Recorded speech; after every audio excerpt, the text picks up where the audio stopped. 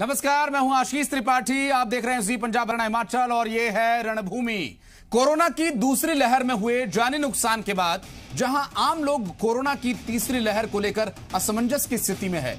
सरकार लोगों से सावधानी बरतने की अपील कर रही है। कोरोना के खिलाफ लड़ाई में सरकार वैक्सीनेशन का मेगा कैंप चलाकर बड़ा कदम उठा रही है। तो दूसरी तरफ़ विपक्ष सरकार की तरफ़ से पेश किए जा रहे आंकड़ों को झूठा बताकर सरकार को घेरने की कोशिश में है। रणभूमि में इन सवालों के साथ कई और पहलुओं पर पूछेंगे सवाल, करेंगे पड़ताल, लेकिन उससे पहले एक रिपोर्ट।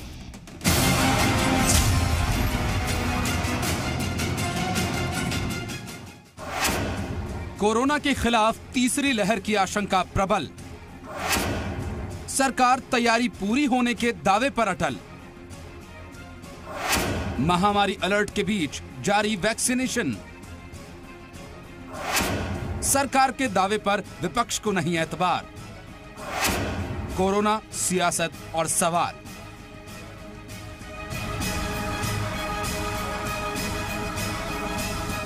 कोरोना की तीसरी लहर की तमाम आशंकाओं के बीच राज्य सरकार वैक्सीनेशन अभियान को ज़ोर शोर से चला रही है। लोगों को जागरूक करने से लेकर वैक्सीन की उपलब्धता तक सरकार का पूरा फोकस है। वैक्सीनेशन हम, हमारी पूरी तैयारी है। वैक्सीनेशन का जितने इंजेक्शन, टीके हमको मिलते हैं, हमको वो चाहिए। आज भी हमारा मेगा ड्राइव चल रहा है वैक्सीनेशन का और उसमें पाँच लाख टीके लगाए जाएँ। इसका हमारा एक प्रोग्राम चल रहा है। इसलिए हमारे यहाँ सिस्टम, इंफ्रास्ट्रक्चर में जो उसकी सारा सिस्टम है, वो पूरा बना हुआ है। उसमें कहीं कोई कठिनाई नहीं है। और अभी इस समय तक लगभग एक करोड़ चालीस लाख लोगों को इंजेक्शन लग चुके हैं, जिसमें से लगभग छत्तीस लाख जो है, वो सेकेंड डोज है और एक लाख, एक करोड़ तीन चार लाख जो है फ़र्स्ट डोज है। भाजपा ने पिछले लहर में भी एक कोविड हेल्पलाइन बनाई थी और सरकार ने बड़े बड़े संजीवनी हॉस्पिटल बनाए, पाँच सौ पाँच सौ बेड के। जहाँ लोगों का इलाज फ्री किया, वैक्सीनेशन भी याद हो रही है। और तीसरी लहर के लिए भाजपा हर गाँव में दो दो कार्यकर्ता, हर गाँव में बूथ के हिसाब से दो दो तीन तीन कार्यकर्ता, ताकि लोगों की मदद कर सके उसके लिए तैयार कर रही है ये विपक्ष की हताशा ही है कि वो इसके ऊपर राजनीति कर रहे हैं। वो खुद छुपे हुए हैं। गुरुग्राम में साठ हज़ार लोगों को वैक्सीन लगाने के लिए मेगा ड्राइव की शुरुआत हुई। दावा है कि सिर्फ़ गुरुग्राम में ही अब तक दो लाख लोगों का वैक्सीनेशन हो चुका है। अंबाला में 221 जगहों पर मेगा वैक्सीनेशन कैंप लगाया गया। साथ ही भिवानी में चालीस हज़ार लोगों को वैक्सीन लगाई जा रही है। ये सब लोगों को लगानी चाहिए, क्योंकि ये अभी इस्टेब्लिश हो गया कि इससे फ़ायदा है। जिनको लगी है वैक्सीन मेरे को खुद दो डोज लग चुकी है और अभी मैं एकदम हेल्दी हूँ। ये काफ़ी ज़्यादा कारगर भी साबित कर हो रहा है। नहीं तो बाकी दूसरे देश के जो भी बने हुए हैं वैक्सीन उनमें कभी कभी कुछ प्रॉब्लम सुनने को आ जा रही है। थोड़ा मतलब कि डर था कि वैक्सीन के बारे में लेकिन अब पता लग गया है कि सभी लोग लगवा रहे हैं तो अच्छी है बिल्कुल। ये हमें निर्देश दिए गए हैं कि 60 परसेंट डोजेज सेकेंड डोज लगाई जाएँ और बाकी की शेष 40 परसेंट डोजेज जो हैं उनको हम फ़र्स्ट डोज की तरह लगा सकते हैं। हम यहाँ पर लोगों को रोक के कोवैक्सीन या कोविशील्ड के बारे में पूछा जा रहा है। जिसको नहीं लगी हुई है, उसको कोवैक्सीन या कोविशील्ड लगाई जा रही है। हम आज का दिन चलान नहीं कर रहे हैं। इनकी मदद के लिए, इमदाद के लिए स्वास्थ्य विभाग की टीम का सहयोग दे रहे हैं। दूसरी लहर के दौरान हुई मौतों और कुछ जगहों पर वैक्सीन की कमी की बात को लेकर विपक्ष लगातार सरकार पर हमलावर है। हाल ही में संपन्न हुए मानसून सत्र से लेकर सड़क तक कांग्रेस समेत सभी विपक्षी दल कोरोना के खिलाफ लड़ाई में सरकार के आंकड़ों को झुठला रहे हैं। इतना ही नहीं, नेता विपक्ष भूपेंद्र सिंह हुड्डा का आरोप है कि सरकार ने कोई तैयारी नहीं की है। सरकार सिर्फ़ बातें कर रही है। जो पहले से कोरोना पीड़ित रहे, जिनकी कोरोना से मौत हुई, सरकार ने ऐसे कोरोना पीड़ित परिवारों की मदद नहीं की। पहली वेव से दूसरी वेव तक कोई तैयारी नहीं करी। अब ये कह रहे हैं, तीसरी वेव आएगी, नीति आयोग वाले कह रहे हैं। वो तो यहाँ तक चले गए रोज के चार लाख केस होंगे। अब क्या तैयारी है इनकी? कितने तो पैरामेडिकल स्टाफ इन्हें भर्ती किए? कितने डॉक्टर भर्ती किए? कौन सा इंफ्रास्ट्रक्चर किया? कितने और बेड एड किए ऐसा विधानसभा में इनको बताना चाहिए था, कि हमने इतने तैयारी की है। लेकिन बताएँगे क्या? थाने के पास कुछ है ही नहीं सरकार के दावों और विपक्ष के सवालों के बीच कोरोना के खिलाफ लड़ाई काफ़ी हद तक सियासत की भेंट चढ़ती नज़र आ रही है। राजनीति के लिए यूँ तो प्रदेश में कई मुद्दे हैं। अब ऐसे में सवाल ये है कि क्या सरकार और विपक्ष एक होकर कोरोना जैसे दुश्मन के खिलाफ लड़ाई नहीं लड़ सकते? विनोद लांबा के साथ ब्यूरो रिपोर्ट, जी मीडिया। दूसरी लहर के दौरान बहुत ज़्यादा नुकसान हुआ लोगों का। कई लोगों को अपनों ने अपनों को खोया, साथ ही साथ उस वक्त की स्थिति से। अब हम तीसरी लहर के लिए कितने तैयार हैं इसी विषय पर चर्चा करेंगे। हमारे खास मेहमानों से हमारे साथ खास मेहमानों का पैनल मौजूद है। सत्यव्रत शास्त्री जी हमारे साथ मौजूद है बीजेपी से। शास्त्री जी, बहुत स्वागत है आपका। हमारे साथ कृष्णा सातरोड साहब जुड़ गए हैं कांग्रेस से। कृष्णा जी, बहुत स्वागत है आपका। हमारे साथ डॉक्टर वीरेंद्र यादव हैं सीएमओ हैं गुरुग्राम के। वीरेंद्र जी, आपका बहुत स्वागत है। और वीरेंद्र जी, आपसे ही शुरुआत करेंगे। हम दूसरी लहर के बाद, वैक्सीन आने के बाद थोड़ा सा इजी हो गए हैं कोरोना को लेकर, लेकिन एक बार फिर से कोरोना अपना असर दिखा रहा है, आंकड़े फिर से बढ़ रहे हैं। त्योहारी सीज़न आ रहा है। ऐसे में आम लोगों के लिए क्या हिदायतें हैं? और सरकार की तरफ़ से जो प्रयास किए जा रहे हैं, क्या उसमें कोई गुंजाइश नज़र आती है आपको सुधार की? आ, तीसरी वेव की हम तैयारी तो कर रहे हैं लेकिन फ़िलहाल अगर मैं पिछले एक महीने की बात करूँ और आज की भी बात करूँ तो अभी भी सिंगल डिजिट में ही केस हैं केस एक से लेके और आठ या नौ के बीच में कहूँ या मैक्सिमम नौ केसेस आए हैं पूरे अगस्त के महीने की मैं बात करूँ हम्म। तो हार्डली पूरे अगस्त के महीने में अभी 200 केस भी पूरे नहीं हुए हैं आ, तो अभी तो थर्ड वेव इमीडिएट तो नहीं नज़र आती लेकिन आपने बिल्कुल ठीक कहा त्योहारों का सीज़न है और ये जन्माष्टमी यानी सोमवार से ही शुरू हो जाएगा। आने वाले दिनों में गणेश चतुर्थी और सारे रामनवमी और सारे अपने सारे फेस्टिवल्स जो हैं वो संबंधित आने वाले हैं।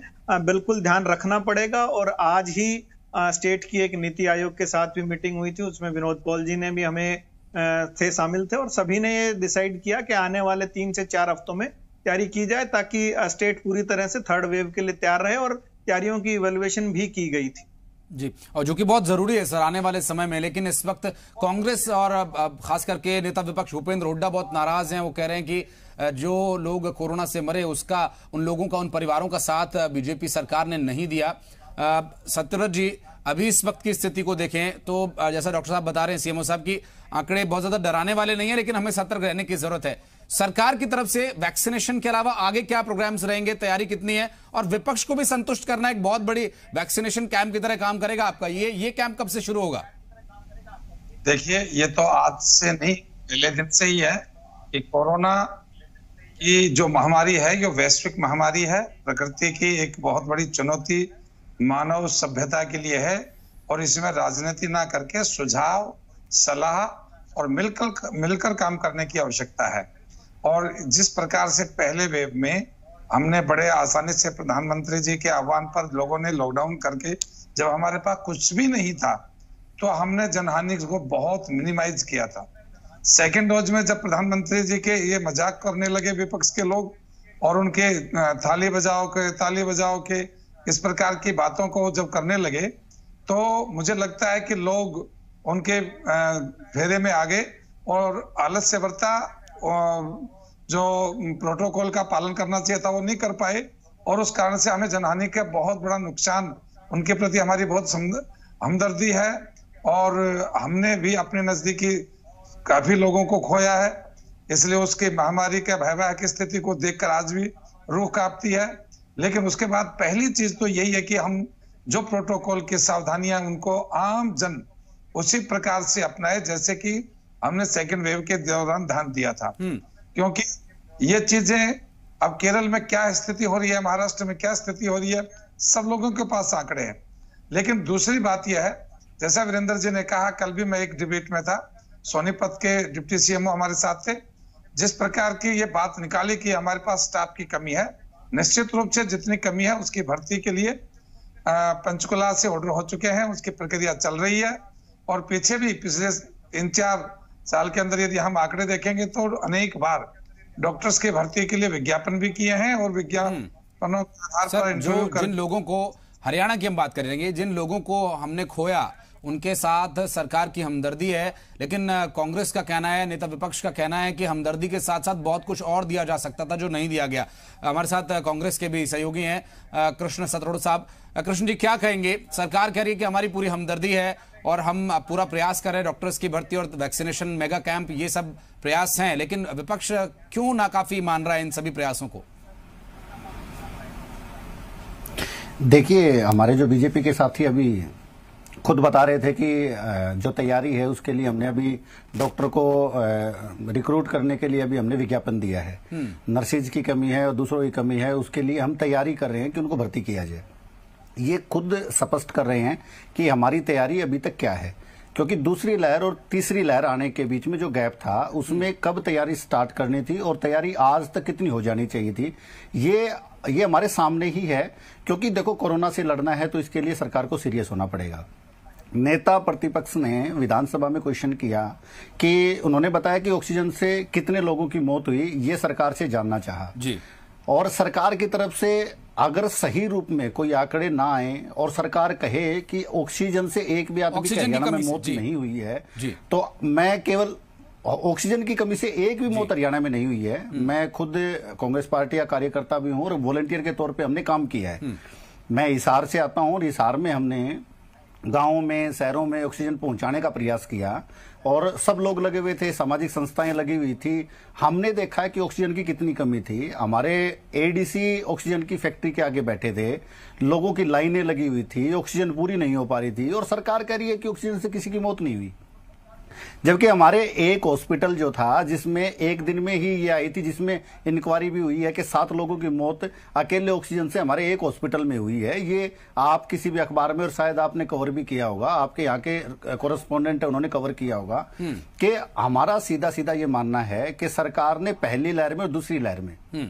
जो गलतियाँ करी हैं वो तीसरी में ना की जाए और तीसरी में सख्ती के साथ जो विपक्ष का केवल इतना ही कहना है इतना ही मानना है कि आप जो तैयारियाँ कर रहे हैं वो लोगों के लिए नाकाफी हैं लोगों की जान बचाने के लिए नाकाफी हैं हम्म। और आप अगर ऐसे ही आपका रवैया रवैया ढुलमुल रहा तो फिर दोबारा जान की हानि बहुत हो सकती है क्योंकि इसमें जैसे अभी हमारे बीजेपी के साथी ने कहा कि ताली थाली बजाने वाला अब इनको मैं बता दूँ कि जिस दौरान ये लॉकडाउन फ़र्स्ट लॉकडाउन जब हुआ हम्म। तब आ, हम जब ताली और थाली बजा रहे थे यहाँ तब एस जयशंकर जी फाइजर ने कहा था कि आप जब तक हमारे पास आए हैं टीका मांगने के लिए इससे पहले 100 करोड़ टीकों का हमारे पास ऑर्डर आ चुका दुनिया से। हम्म। आप बहुत लेट हैं आपको इंतज़ार करना पड़ेगा। और वो सरकारी दौरे पे गए जो जिसका फाइजर ने आज तक भी आज को आपको अप्रूवल नहीं दी है टीके हम्म। के लिए।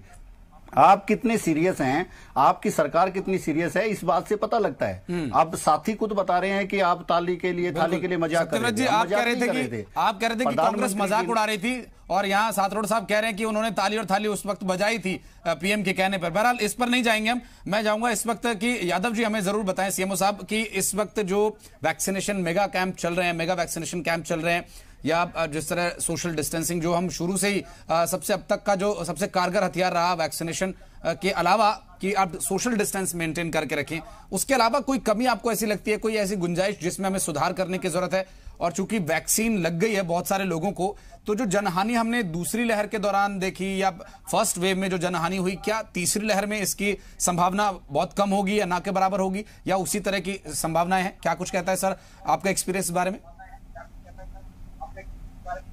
देखिए अगर मैं बात करूँ 2011 के सेंसिस के बाद और जो प्रोजेक्टेड पॉपुलेशन अगर उसके हिसाब से बात करी जाए तो मैं गुरुग्राम का आपको एग्जांपल देना चाहूँगा। प्रोजेक्टेड पॉपुलेशन गुरुग्राम की अगर बात करें 2011 सेंसिस में अगर थी तो कैलकुलेट करी गई वो पंद्रह लाख के करीब थी और अभी जो पॉपुलेशन वो प्रोजेक्ट की गई वो 26 से 27 लाख के बीच में है। तो यानी साढ़े छब्बीस लाख की पॉपुलेशन में टारगेट पॉपुलेशन की अगर हम बात करें बासठ परसेंट वो पॉपुलेशन है जो 18 साल से ऊपर की है। और उस हिसाब से हम बात करें तो हम गुड़गांव में ऑलरेडी तेईस लाख टीके लगा चुके हैं जिनमें से अगर हम फ़र्स्ट डोज की बात करें तो तकरीबन सत्रह लाख हैं और छह लाख सेकेंड डोज है। यानी सेकेंड डोज का मतलब है छह लाख लोगों को हम कंप्लीट वैक्सीनेशन कर चुके हैं। और टारगेट पॉपुलेशन के हिसाब से हम बात करें तो गुड़गावा में हमने सैंतीस परसेंट लोगों को एक तरह से कंप्लीट इम्यूनाइजेशन दे चुके हैं या कोविड की वैक्सीनेशन दे चुके हैं। हम्म। और आज आप जो बात कर रहे हैं मेगा वैक्सीन ड्राइव डे ना केवल आज है हमें उम्मीद है जैसा मीटिंग्स में बताया या एसीएस महोदय ने हमें बताया कि आने वाले दिनों में और वैक्सीन की अवेलेबिलिटी रहेगी और संभवतः हम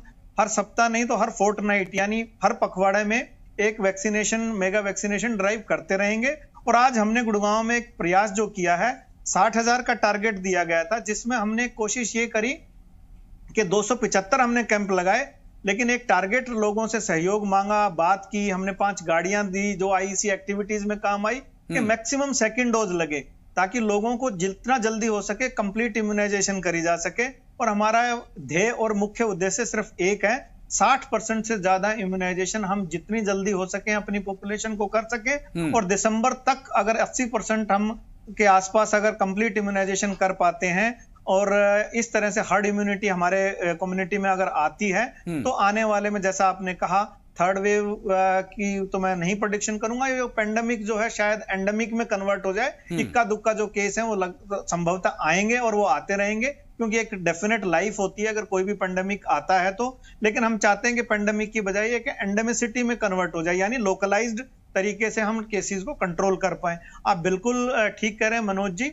सोशल डिस्टेंसिंग की बजाय अगर मैं एक शब्द यूज़ करूँ फ़िज़िकल डिस्टेंसिंग यानी जो शारीरिक दूरी है वो ज़रूरी है। वैसे भी हमें ये चीज़ें सीखनी चाहिए ना केवल कोविड बल्कि ये सब चीज़ें दूसरी बीमारियों में भी काम आती हैं। अगर कॉमन फ्लू की ही बात करें या स्वाइन फ्लू हो या कोई भी इन्फ्लुएंजा टाइप फ्लू हो कॉमन कोल्ड हो या सांस की कोई भी बीमारियाँ हो वो उसमें भी मददगार रहेगी ना केवल कोविड में। और यहाँ मैं आपको बताना चाहूँगा कि गुड़गांव में हमने ऑलमोस्ट सत्रह लाख चलान किए हैं। क्योंकि कभी कभी एनफोर्समेंट करनी पड़ती है। लोगों को सिखाने के लिए बताना पड़ता है। पिछले एक साल में हमने इतने चलान किए हैं। तो ये उम्मीद है कि लोग हमारा साथ देंगे और इस बार त्योहारों में जो पिछली गलती हमने की थी अक्टूबर नवंबर में एक बार पीक आई थी तो संभवतः इस बार लोग थोड़ा सा साथ देंगे और हमने वैक्सीनेशन भी काफ़ी की है।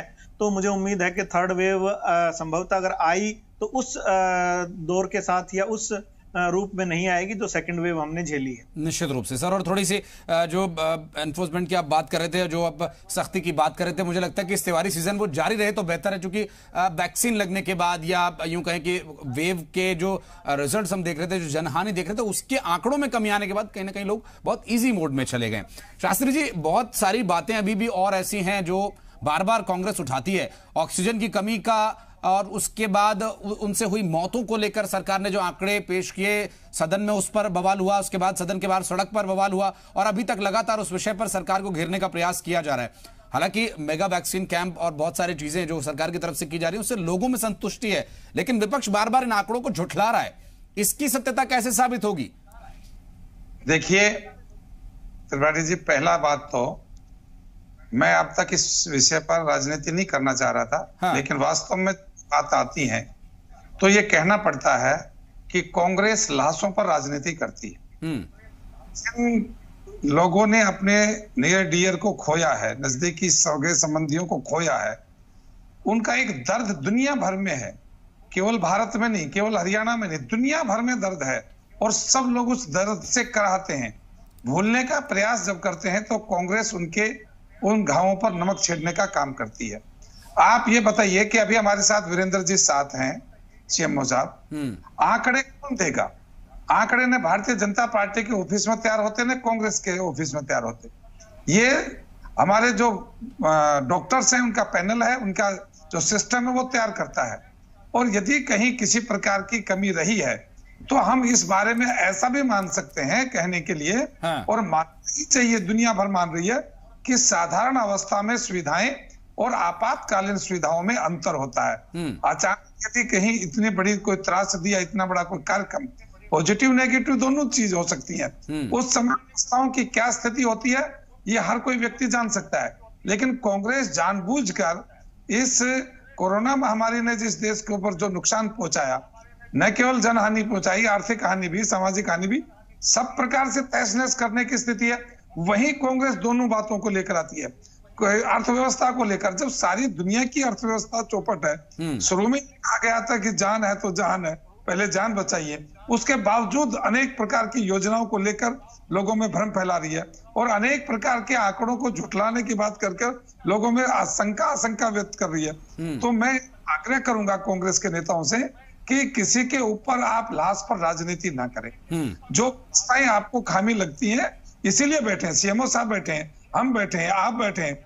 जहाँ जो आपको लगता है आज कितना बड़ा मेगा जो ड्राइव किया पाँच लाख लोगों को टारगेट करने के लिए किया और हर पंद्रह दिन में सात दिन में इस प्रकार के आगे अभियान चलेंगे। क्योंकि हमारे पास जिस प्रकार की उपलब्धता हम आंकड़ों के द्वारा बात बात कर रहे थे कि जितनी जितनी कंपनियों ने हमें एमओयू करके टारगेट दिए थे वो आने वाले समय में दिसंबर तक मैक्सिमम हमारे पास ये वैक्सीन उपलब्ध होगी और वैक्सीन मैक्सिमम लोगों को वैक्सीनेट किया जा सकेगा। तो जिसकी उपलब्धता है उस उपलब्धता की कालीबाजारी नहीं है। उस उपलब्धता में किसी की पहचान नहीं है कि कौन आएगा कौन जाएगा किसको लगाएँगे कैसा करेंगे।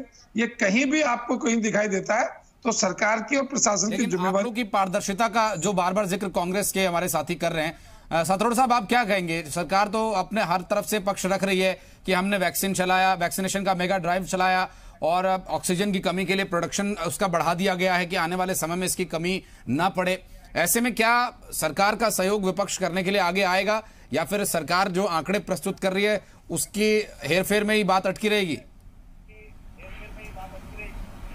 देखिए मैंने पहले भी कहा और मैं अभी भी कहना चाहता हूँ कि दूसरी लहर जब आई उससे पहले वर्ल्ड इकोनॉमिक फोरम पे हम्म। खुद प्रधानमंत्री जी का बयान है। उन्होंने कहा कि हमने कोरोना को हरा दिया है हमारे देश से कोरोना चला गया है हम्म। ये मैंने नहीं कहा ये कांग्रेस पार्टी किसी नेता ने नहीं कहा हम्म। देश के प्रधानमंत्री ने कहा और प्रधानमंत्री ने अगर कहा है तो हम उसे सीरियस भी लेना चाहिए हम्म। देश में इसका क्या मैसेज गया अधिकारियों पे डिपार्टमेंट पे किस कैसा मैसेज गया और उसके। बाद में दूसरी लहर में हमारे साथ क्या हुआ ये हमारे सामने है और दूसरी लहर के दौरान जब दूसरी लहर आ रही थी तब हमारी सरकार कितनी सीरियस थी हमारे देश के प्रधानमंत्री हमारे गृह मंत्री कितने सीरियस थे कि सारे के सारे बंगाल चुनाव में लगे हुए थे और रैलियाँ कर रहे थे आप ये बताइए कि सरकार के सरकार में प्रधानमंत्री और गृह मंत्री हम्म। अगर रैलियाँ करेंगे जलसे करेंगे और शाम को आकर के प्रेस कॉन्फ्रेंस करेंगे कहेंगे कि कोरोना जो है वो आ रहा है आप उसको बचाव करने के लिए तरीके अपनाएँ हम्म। तो आप मुझे बताएँ कि देश कैसे मानेगा लोग कैसे मानेंगे आपके प्रधानमंत्री हमारे प्रधानमंत्री को सीरियस होना पड़ेगा हमारे देश की सरकार को सीरियस होना पड़ेगा लोगों को ये विश्वास देना पड़ेगा कि आपको हम्म। ऐसा करना है और आप ऐसा करेंगे तो हम हम बचेंगे किसी महामारी से बचेंगे हम्म। अब ये चीज़ें जो हुई हैं ये आपके सामने भी हमारे सामने भी है हम्म। और हम एक जिम्मेवार विपक्ष होने के नाते हमारी जिम्मेवारी बनती है कि जो चीज़ें गलत हो रही हैं हम उसको लोगों के सामने लेकर के जाएँ। जी। अब लोगों की जान बचाने की जिम्मेवारी जो है वो सबकी है। हमारी भी है आपकी भी है सबकी है। लेकिन उसमें सबसे ज़्यादा जिम्मेवार जो है वो सरकार है। अगर सरकार ये कहे माफ़ी चाहूँगा क्योंकि समय की थोड़ी सी कमी है सर थोड़ी सी समय की कमी है लेकिन आपसे उम्मीद थी कि आप हरियाणा के मुद्दे पर बात करें आप हरियाणा से निकल के कोलकाता चले गए।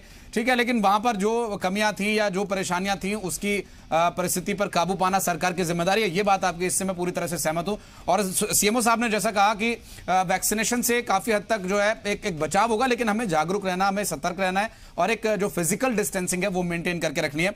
बहुत बहुत शुक्रिया सत्यव्रत जी, बहुत बहुत शुक्रिया कृष्ण जी आपका हमारे साथ जुड़ने के लिए। सीएमओ साहब, वीरेंद्र यादव जी, बहुत बहुत धन्यवाद आपका हमारे दर्शकों का मार्गदर्शन करने के लिए कोरोना के प्रति। और सरकार और विपक्ष की लड़ाई तो इसी तरह से जारी रहेगी, लेकिन हमारी लड़ाई अलग स्तर पर हर मोर्चे पर जारी रहेगी कि हमें कोरोना से लड़ना है और इसे हराना है। आने वाले सीज़न में किस तरह से अपना बचाव करना है, ये आपको अच्छी तरह से पता है। बस इसको आपको लागू करना है और अपने व्यवहार में इसे बनाए रखना है आगे भी। इसके साथ रणभूमि में फ़िलहाल इतना ही। वक्त छोटे से ब्रेक का। ब्रेक के बाद भी खबरों का सिलसिला जारी रहेगा।